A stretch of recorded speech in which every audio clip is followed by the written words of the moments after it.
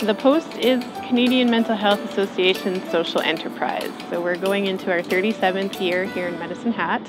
And uh, what we do here is operate a thrift store, and in doing so, we employ a lot of folks that have mental health issues and generate revenue for our local mental health services and programs.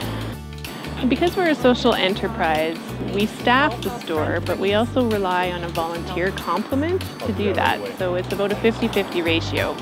And it takes the equivalent of six, at a minimum, six full-time positions in volunteer hours to run the store, and we don't have that right now. So that's uh, really impacting us, and we're feeling that. A lot of the folks that do give their time to us come in and they do it every week for uh, blocks of two to four hours a week, which is incredible. Kingston, Ontario, Victoria. I volunteer to get out of the house to and to meet people. I, it helps me get over some of my anxieties. I started volunteer in the bookstore and then that turned to a job, but I still do some volunteering. So we've got volunteers here that have been with us for 35 years and considering that the store is going into its 37th year this year, that's amazing. You, you don't really find that anywhere else. When I walk through that front door, I feel happy.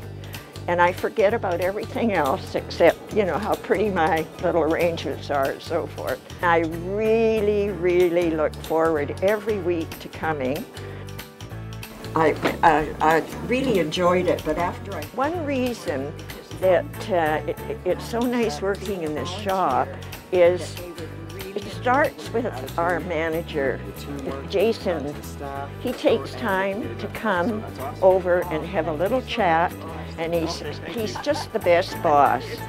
Then there's all the staff that I work with, and, and I go home with such a good feeling because they're all such a great bunch.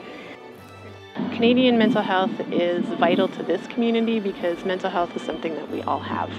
So it impacts all of us. So we know that at a minimum, one in four people are going to experience mental health issues at some point in their life. And those are going to be people that are either ourselves, our friends, our family members, co-workers, or members of our community. So that's going to impact every single one of us. When I'm doing the flowers, I'm thinking, I'm enjoying this so much. But you know, the gratifying thing is that you're also helping the mental health. Uh, somebody is getting some help because you're coming in every week doing these flowers. So to me, it's just, it's just been so rewarding.